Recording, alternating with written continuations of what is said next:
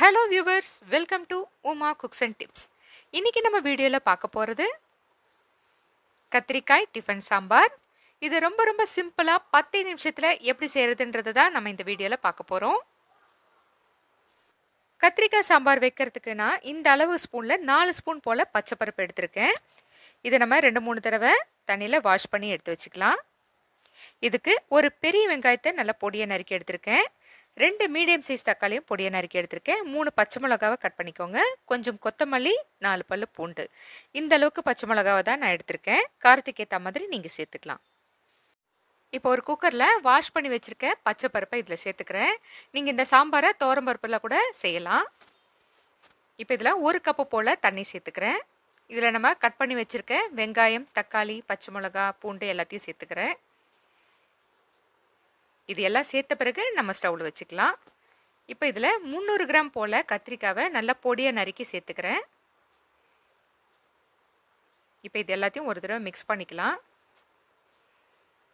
புதுசாக சமையல் செய்கிறவங்களுக்கு இது ரொம்ப ரொம்ப ஈஸியாக இருக்கும். இந்த சாம்பார் பார்த்தீங்கன்னா இதில் தேவையான அளவுக்கு உப்பு சேர்த்துக்கிறேன். கால் ஸ்பூன் போல் மஞ்சள் தூள். அரை ஸ்பூன் சீரகம் சேர்த்துக்கோங்க. இதுலேயே சீரகம் சேர்த்துட்டிங்கன்னா சாம்பாரோட டேஸ்ட் ரொம்ப நல்லாயிருக்கும். இப்போ நான் இதை ஸ்டவ்வில் வச்சுட்டேன்.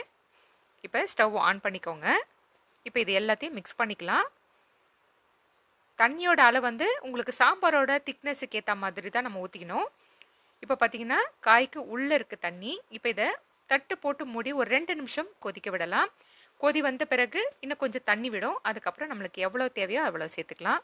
ஒரு ரெண்டு நிமிஷம் கழித்து ஓப்பன் பண்ணியிருக்கேன் தண்ணி நல்லா விட்டுருக்கு. இன்னும் எனக்கு கொஞ்சம் தண்ணி தேவைப்படுது. மொத்தத்தில் நான் ரெண்டு கப்பு போல் தண்ணி சேர்த்துருக்கேன். இப்போ இதில் ரெண்டு ஸ்பூன் போல் எண்ணெய் சேர்த்துக்கலாம். இது சேர்க்கறதுனால குக்கர் மூடியில் வந்து மேலே பொங்காமல் இருக்கும். இப்போ இதையும் மிக்ஸ் பண்ணிவிட்டு மூடி போட்டு ஒரு நாலுலேருந்து அஞ்சு விசில் கொடுத்து எடுத்துக்கோங்க. அப்போ தான் நல்லா மசிஞ்சிருக்கும் கத்திரிக்காய். ப்ரெஷர் ரிலீஸ் ஆன பிறகு வெயிட்டு போட்டுக்கலாம். இப்போ ப்ரெஷர் நல்லா ரிலீஸ் ஆகிட்ட பிறகு ஓப்பன் பண்ணுங்கள் சூப்பரான கத்திரிக்காய் சாம்பார் ரெடி ஆயிடுச்சு. இப்போ இதை ஸ்டவ் ஆன் பண்ணிவிட்டு கொதிக்க விடலாம். இந்த அளவுக்கு திக்னஸ் வந்து கரெக்டாக இருக்கும். நீங்கள் உடனே சாப்பிட்றதா இருந்தால் ஆறிச்சுன்னா நல்ல திக்காயிடும் இப்போ இதை மசியாமல் ஏதாவது இருந்ததுன்னா இந்த மாதிரி கரண்டி வச்சு மசிச்சுக்கோங்க. உங்கள்கிட்ட மத்து இருந்தால் கூட மசிச்சுக்கலாம்.